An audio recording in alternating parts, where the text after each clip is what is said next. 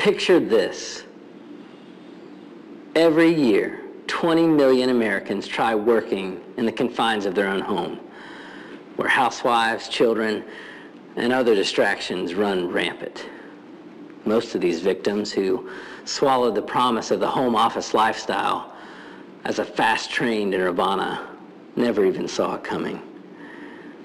At first, it's an adrenaline rush.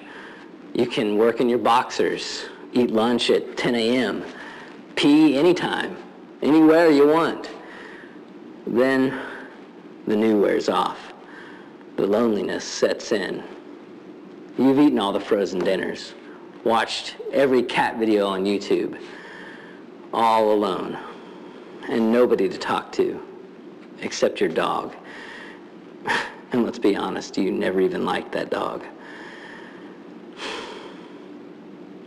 You don't have to be a victim. Say no to loneliness.